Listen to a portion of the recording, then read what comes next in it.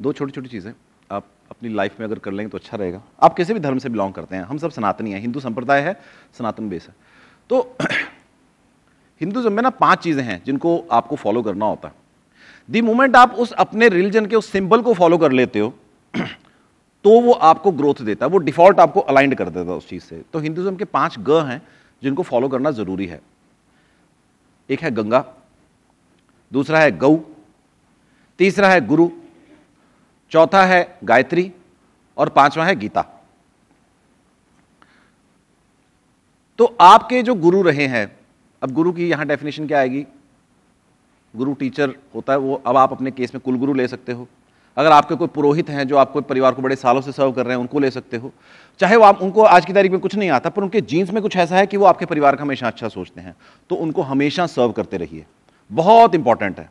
कुलो पुरोहित जो होते हैं उसको आप गुरु मान सकते हैं। या जिसको आपने गुरु धारण किया हुआ है, आपके बचपन में आपके माता पिता ने करवा दिया, उनको कर सकते हो, या जो भी आपके गुरु रहे हो। उससे क्या होगा कि अगर उस बंदे ने आपकी लाइफ में कुछ दिया था, या आपके जीन्स में कुछ आप, उसने हेल्प किया, उसने डेवलप करने में, वो आपके लिए स्विचर का काम करता है हर समय के ऊपर। आपका कोई ना कोई ऐसा दोस्त होगा, मित्र होगा, जब आप परेशान होते हो, उससे बात करते हो तो आपको सोल्यूशन प्रोवाइड करता है तो वो भी आपका एक गुरु है, जो आपके ब्रेन को स्विच करने की पावर रखता है। दूसरी चीज़ है गीता। गीता को अपनी बॉडी का पार्ट बना लीजिए। एक बार सारी गीता पढ़िए, उसका सारांश पढ़िए, हिंदी में क्या लिखा है। नहीं समझ आता, कोई चक्कर नहीं। पढ़ दो उसको। और उसको रैंडम टाइम्स पर पढ़ते रहिए। कभी कभी जब मन परेशान हो, पढ़ लिया, उसको अपनी लाइफ का पार्ट बनाइए। गीता वो पार्ट है, ईश्वर के वो शब्द हैं, भगवान कृष्ण के, जो प्रैक्टिकल पार्ट था। प्रैक्टिकल प्लेन पे यूज़ हुआ था। अर्जुन कंफ्यूज हैं, कृष्ण जी आ गए। सारे धर्मों में ये कहते हैं कि भगवान ऐसा करता है। वहाँ कृष्ण जी ने कहा है, मैं ही भगवान हूँ। तो सोचो, वो कह रहे मैं ही भगवान हूँ वाली चीज़ है कॉन्टेंट तो कितना मजदार कॉन्टेंट होगा। तीसरी चीज़ है गायत्री। गायत्री मंत्र को रूटीन में चैंट करना शुरू करिए।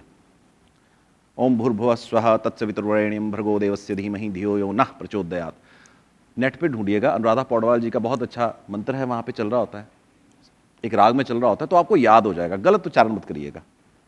बहुत इंपॉर्टेंट है, क्योंकि कई बार क्या होता है, लोग श को स बोलते हैं और स को श बोलते हैं तो उसका उच्चारण चेंज हो जाता है। तो उनका वो सुनिए, वो गायत्री आपको हेल्प करेगी। क्योंकि गायत्री वो देवी है जो इन चीज़ों को देती है। प्रोड्यूसर वो है तो आपके अंदर वो उस ऊर्जा को जागृत करके रखेगी। उसके बाद आती है गाय। गाय दो प्रकार की होती है। एक वो गाय है जिसको देसी गाय कहते हैं, और एक जो वो गाय है जो जर्सी होती है। जर्सी गाय वो होती है जिसके अंदर उन्होंने जो सुअर के जीन्स होते हैं ताकि वो दूध ज़्यादा दे दे। और एक वो गाय होती है जो देसी साहीवाल है, जो इंडियन ब्रीड्स हैं, थार हो गई, थार पारकर जिसको हम कहते हैं। तो देसी गाय की अगर आप सेवा करते हो तो गाय के अंदर एक बड़ा ज़बरदस्त भाव होता है। आप एक गाय को रूटीन में रोटी देनी शुरू कर दो। आपकी लाइफ में चेंज आ जाएगा। 43 डेज़ उसको करके देख लीजिएगा। गारंटेड रिज़ल्ट आएगा। लाइफ में कुछ और ही हो जाएगा। बड़ी मज़ेदार चीज़ें हो जाएँगी। मैं गौशाला चलाता हूँ, इसलिए अपना एक्सपीरियंस बता रहा हूँ। आखिरी क्या चीज़ थी? डेली गंगा जल का एक या दो ड्रॉप पीने शुरू कर लो। घर में रख लीजिए गंगा जल बॉटल में छोटी सी डाल के रख लीजिए, एक दो ड्रॉप उसके पी लिए। ये काम करना शुरू करिए। लाइफ में चेंजेस आने शुरू हो जाएँगे आपके। कई बार क्या होता है, हम इतने रूढ़ीवादी हो जाते हैं क्योंकि हमारे पास कंटेंट की ऑथेंटिसिटी नहीं रहती, इसका बेस क्या है? तो हमें हर बार बेस नहीं देखना होता। डॉक्टर के पास जाते हैं, वो एक पिल दे देता है, इसको खा लो, सर ठीक हो जाएगा। अरे, उस व्हाइट वाली पिल में आपको क्या पता, चीनी है, वो प्लेसिबो इफ़ेक्ट ही है कि रियलिटी में उसमें कुछ है? हम छोटे होते जाते थे ना, होम्योपैथिक डॉक्टर था हमारे घर के पास। तो घर वालों ने को मेडिसिन लेनी होती थी, हम भी कहते हैं, हमें भी दो। वो हमें शीशी में ना होम्योपैथिक की गोलियाँ डाल के देता था तुम्हारी हरी वाली तुम्हारी है, नीली वाली घर वालों की है। हम हरी वाली हमेशा खाते थे कि हम भी ठीक हो रहे हैं। वो सिर्फ़ चीनी की गोलियाँ थी, उसमें तो वो ड्रॉपर भी नहीं डालता था। वो प्लेसिब इफ़ेक्ट करता था, वो कहता तो इसको डाल, खाएगा ना तो तेरी पढ़ाई अच्छी होएगी। मतलब फेल तो मैं फिर भी होता रहा, पर मुझे लगता था मैं इसको खा रहा हूँ तो मेरी पढ़ाई अच्छी हो रही है। प्लेसिबो इफ़ेक्ट काम करता तो, तो कई बार हमारा ट्रस्ट फैक्टर भी काम करता है। हमें उसके पीछे नहीं जाना कि वो कैसे काम कर रहा है। पर ये पाँच ग काम करते हैं। तो ये अपनी लाइफ का पार्ट बनाइए इन पाँच ग को।